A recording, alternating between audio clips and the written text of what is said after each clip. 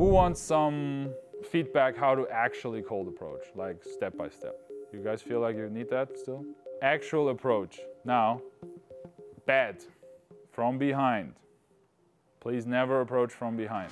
Bad because from the back. We never want to approach from the back. Creepy, makes them So just feel walk uncomfortable. fast, boom, and be in front yeah, of them. you get around, and then as you get in front of them, you can turn around, smile. Mm. But from the back, nobody wants to be approached from the back.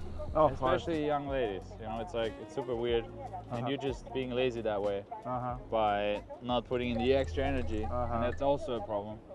So if the girl is here, look at her the whole time. Never start talking when you're still behind her. Excuse me. Hi. Sorry. Hello, hi. You walked past me, and I was thinking, very beautiful girl. And Thank you. kind of have an elegant, chill vibe about you. Very important because she's instantly going to associate you with a beggar, a needy guy, somebody who needs something, not gives something. Bad, okay? Looks weak. Don't touch. Threatening, unnecessary. If you can't do it with your eyes and your voice and your smile, and you revert to touching, shows you just don't have it, right? You, you as a man should, with your presence, should be strong enough to stop a woman and get her attention. If you need to touch her, bad sign for her.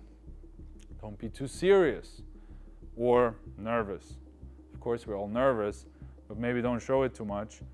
If you have a strong body language, which you can fake, right? You can be nervous but stand like that and you smile.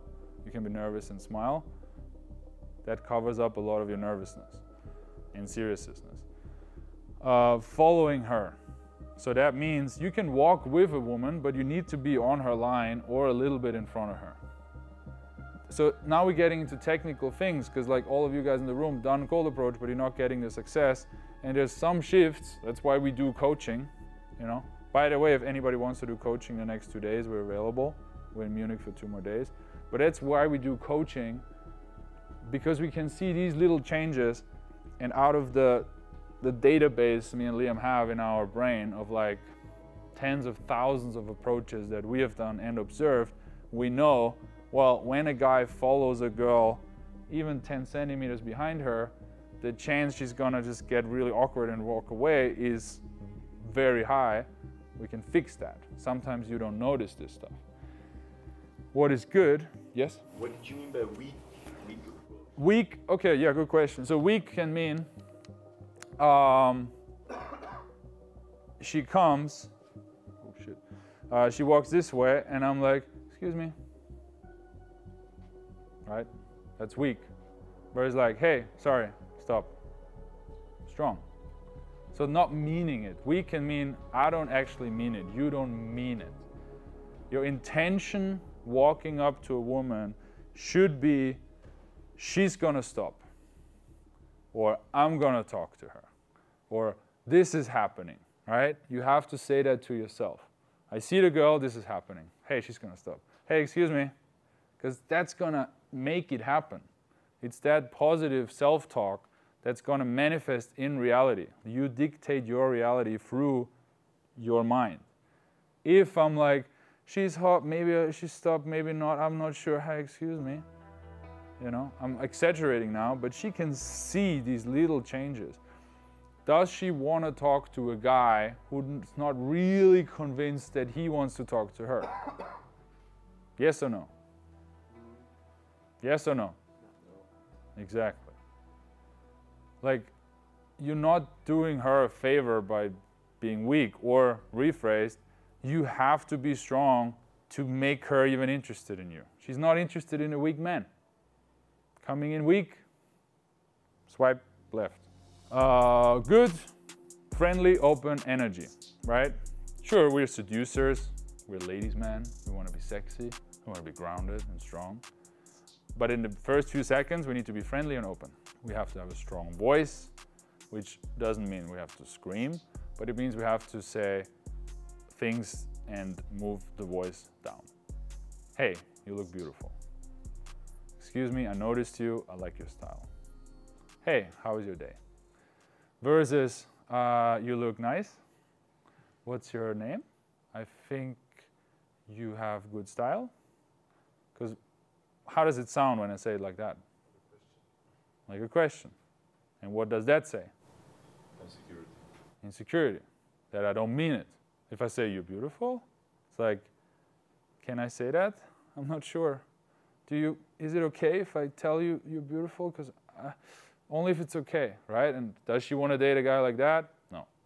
So even that little voice, that that ending of the the tone tells her what kind of guy you are. Are you the kind of guy who says shit, how he means it, right? I, who was that? I say things that I mean or whatever it was, right? Or is it a guy who is not and she wants to date the first one? Uh, make yourself visible. So be open, show your hands, stay up strong, stand like this, not like that, not like this. Show yourself. Same thing, it's a micro communication of I'm proud. I like that people look at me. I have something to give. I'm sharing. I'm open. I'm vulnerable as well, right? I'm not hiding. I'm not protecting myself. I'm ready to be smashed, and it's okay. Hey, you want to smash my ego? It's fine. I got it. I'm here for it. Punch me. It's okay. Respect her space. So that's a little micro conversation going on. You stop a girl, maybe the first thing she does, and again, we can only observe these things when we're very present in the moment, maybe she takes a little step back. And then what some guys do is they take a step forward into her space. And then she takes another small step back, and then they just do another step forward. And then what does that mean? She's like, I would prefer this distance. And he's like, I don't hear you. And she's like, no, no, I want to have a little more distance of you. And he says, no, I, am not listening at all what you're saying, non-verbally. It's a non-verbal communication. And then what does that tell you her about you? That you are not present. You don't give a fuck what she actually means. You're not listening. You're not observing. You're not stable. You're not. Yeah, you're just not uh, calibrated. You're not calibrated. And you maybe don't have experience with women. Because if you had, you would read her signals. Does she want a man who has very little experience with women? Yes or no? No. right? Women always complain, I don't want to date a fuckboy, da da da, but they do want to date a fuckboy because he has experience in a positive way. He can fuck her well, he's calibrated, he knows what she wants, he knows when to back off, he knows when to put pressure, he makes her feel something, positive emotions. He can make her feel positive pressure versus negative pressure. Grounded posture, same as, as strong. Okay. If you want to watch me use the principles that I just explained on the street with real women, you can watch this video right here, where I'm trying to get a Russian girl's number on the streets of Munich.